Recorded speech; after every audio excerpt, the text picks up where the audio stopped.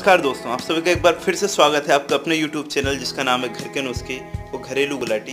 इसमें आज मैं एक वीडियो लेकर आप लोगों के लिए आया हूँ, जिसमें हम बताएँगे कि मुँह के छाले को कैसे आप सिर्फ़ अपने पाँच उपायों से दूर कर सकते हैं। दोस्तों, मैंने कई वीडियो आप लोगों के लिए तैयार किए हैं और मैं जो वीडियो आप लोगों के लिए तैयार करता हूँ, ये घर पर मिलने वाली चीज़ों से बनाए जाते हैं और आसानी से आप घर पर मिलने वाली इन चीज़ों से बना सकते हैं। इसका कोई साइड इफ़ेक्ट नहीं होता और इसमें कम से कम खर्चा आता है। मैं चाहता हूँ कि आप कम से कम खर्च में इसको बना पाओ। दोस्तों, मेरी और ऐसी तमाम वीडियो देखने के लिए आप इस चैनल को सब्सक्राइब ज़रूर करें और यदि वीडियो आपको पसंद आता है तो आप इसे लाइक करना ना भूलें।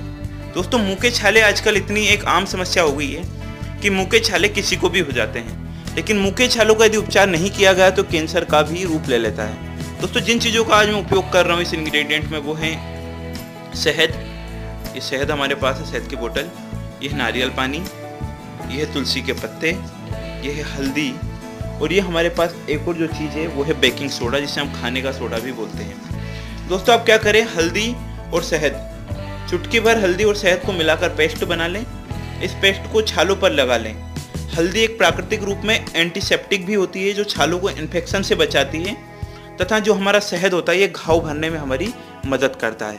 इस प्रकार से आप छालों का इलाज करने में इसका उपयोग कर पाएँगे। दूसरा दोस्तों, जो तुलसी होता है, इसके चार पाँच पत्तों को आप चबा लें। या फिर तुलसी से पत्तों से बनी ग्रीन टी पी लें। ऐसा दिन में दो से तीन बार करें। इसमें मौजूद एंटोपोजिटिक तत्व शरीर को बीमारी से लड़ने में मदद करते हैं तथा सूजन को भी कम करते हैं। अगला दोस्तों, नारियल पानी।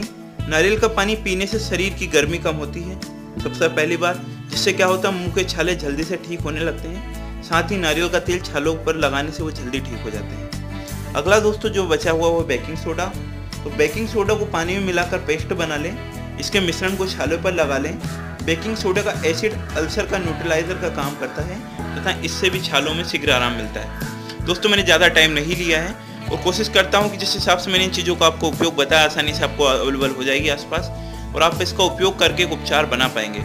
लेकिन इससे पहले यदि आपने घर पर मिलने वाली चीज़ों से जो इलाज मैं बता रहा हूँ, वो देखने के लिए आप इस चैनल को नीचे सब्सक्राइब का लाल बटन दबाएँ। ये समाज सेवा है, बिल्कुल फ्री है, कोई चार्ज नहीं है इसका। वो वीडियो अच्छी लगी हो तो लाइक ज़रूर करें। आप सभी का बहुत बहुत स्वागत है आपके अपने यूट्यूब चैनल जिसका नाम है घरेलू गुलाटी और घर के नुस्खे। धन्यवाद।